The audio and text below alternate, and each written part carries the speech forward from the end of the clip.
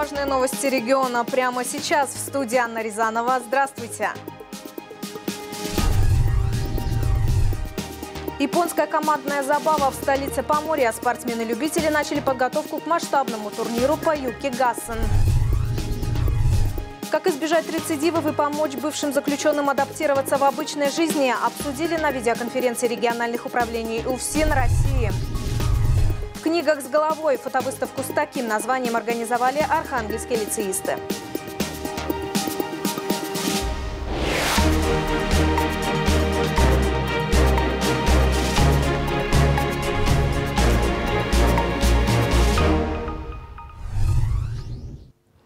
Сегодня утром на Краснофлотском мосту в Архангельске произошло страшное ДТП. Столкнулись грузовая «Газель» и легковой автомобиль.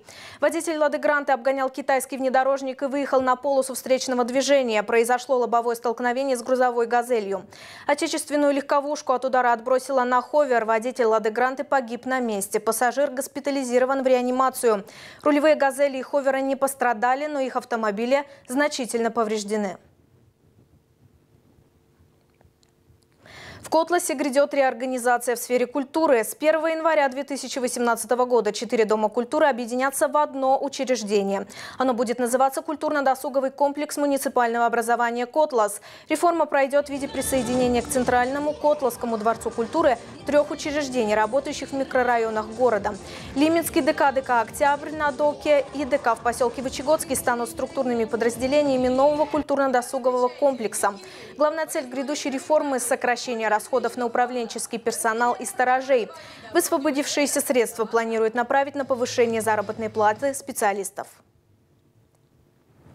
Посмотрев штатное расписание учреждений, были, э, скажем так, выявлены дублирующие э, штатные единицы. Это административно-управленческого вспомогательного персонала. Часть из них будет сокращена.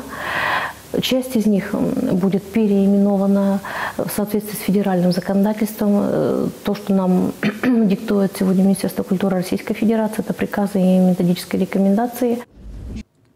Как избежать рецидивов и помочь бывшим заключенным адаптироваться в обычной жизни, обсудили на специальной видеоконференции между региональными управлениями УФСИН России. Методик помощи осужденным, помогающим выйти из замкнутого круга и влиться в нормальную жизнь, много. Впервые представители Федеральной службы исполнения наказаний Архангельска, Москвы, Ставрополя и других регионов обменялись опытом и обсудили проекты по сопровождению бывших осужденных в формате видеоконференции. Свой опыт по предотвращению повторных преступлений представило и Архангельское управление исполнения наказаний.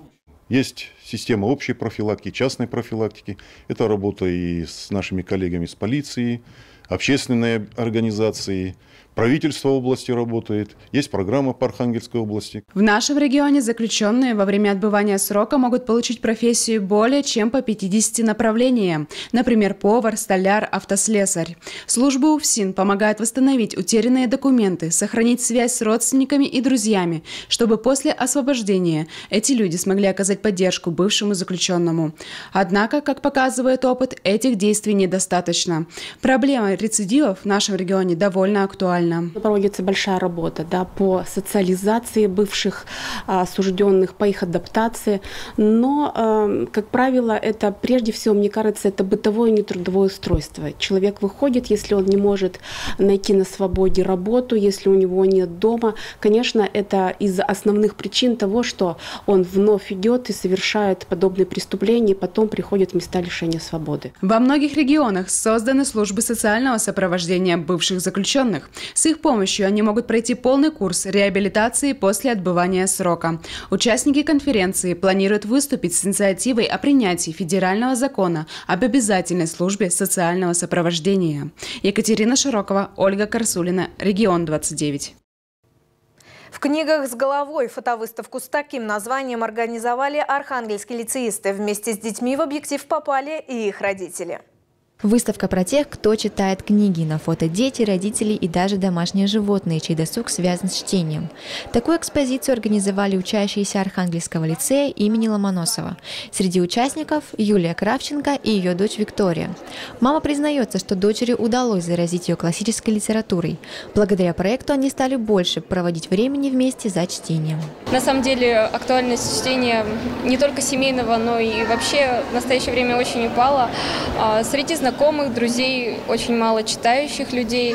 Те, кто не только прочитает книгу, а поймет ее смысл, углубится в суть книги. Всего в проекте приняло участие 22 семьи. Автор идеи Ольга Зелянина признается, что организовать фотосессии было непросто.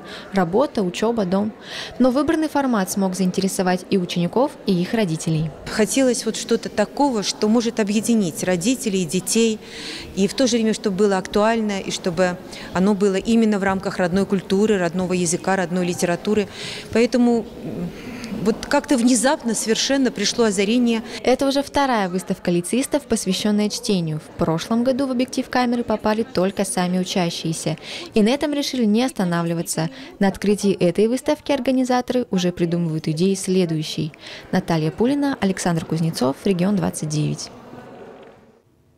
До 17 ноября в Ломоносовском ДК работает выставка продажи изделий меховой компании «Белка». Что производитель предлагает архангелогородцам, узнаем прямо сейчас. Короткие и длинные, разноцветные, классические и ультрамодные. В путешествие в королевство меха северянок снова приглашает кировская меховая компания «Белка». Норка, мутон, овчина, каракуль. Богатство модельного ряда не оставит равнодушной даже самую требовательную покупательницу.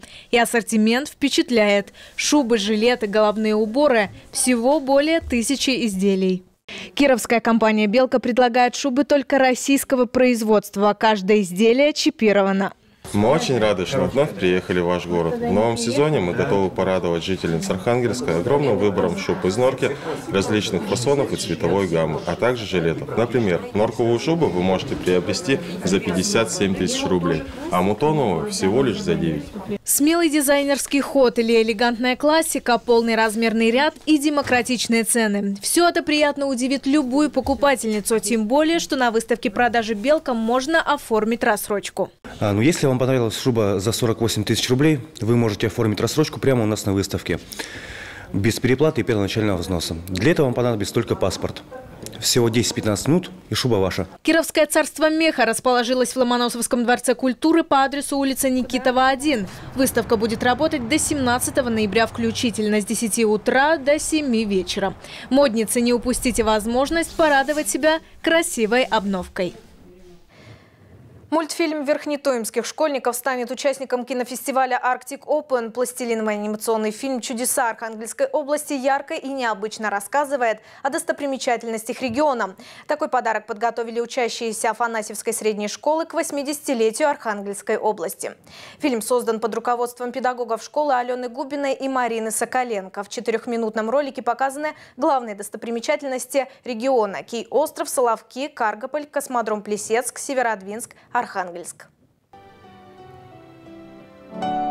Я леплю из пластилина чудеса родной земли, чтобы прославить нашу область, еще больше помогли. Стихотворный текст написали педагоги школы, а читает его второклассница Аня Рюмина. Губернатор Игорь Орлов пригласил верхнетоимских школьников и педагогов принять участие в кинофестивале «Арктик Open, который пройдет в столице Поморья с 7 по 9 декабря и в Ломоносовской ассамблее, посвященной 80-летию Архангельской области. Продолжаем. Юбилейный полуторатысячный матч в российской суперлиге провел Архангельский водник. Соперниками подопечных Сергея Лихачева стал вернувшийся в этом сезоне после семилетнего перерыва в высший дивизион Сыктывкарский строитель. С первых минут желто-зеленые завладели инициативой и уже на третьей минуте смогли открыть счет. Гол забил капитан водника Евгений Дергаев – в дальнейшем игра проходила при заметном преимуществе архангелогородцев. Строитель вынужденно играл в обороне и впервые подойти к воротам Миха... Михаила Шиляева смог только на исходе 15-й минуты игры.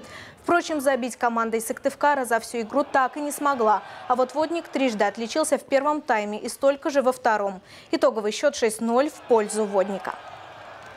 Ну, просто реализовали, на моменты. Сегодня стандарты забили наконец-то, потому что никак что-то у нас после Кубка на Кубке, э, если много получалось, э, то есть забивали голы, добивания после отскока от вратаря было очень много, то что-то на, в начале чемпионата вот не идет. Э, сегодня наконец-то прорвало. Наверное, погода хорошая, в принципе, для хоккея, хоккейная, и лед хороший.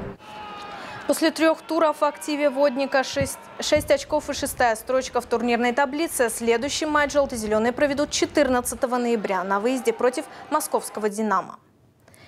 Зима еще не вступила в свои права, а горожане уже вовсю играют в снежки. Это спортсмены-любители начали подготовку к масштабному турниру по Юкигасан. Алексей Карельский продолжит.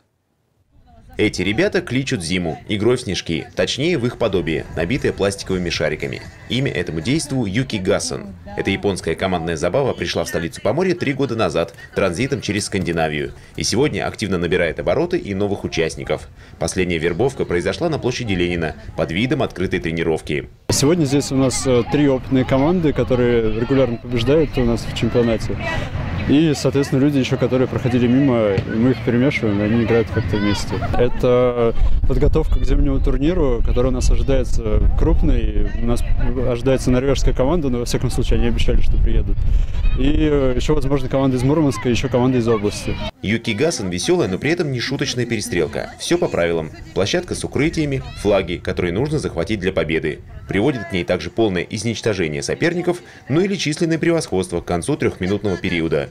Для общей победы нужно одержать верх в двух раундах противостояния. В бою сходятся пара дружин по 7 игроков в каждой, то бишь 4 нападающих и 3 защитника. Действиями команды с бровки руководит капитан. В дружине «Монохром» роль лидера отведена Виктории Колокольцевой. Он кричит сколько человек за бортом, он кричит, сколько мечей и стоит ли экономить. Он помогает ребятам морально, психически, я думаю. А не скучно стоять за линией поля?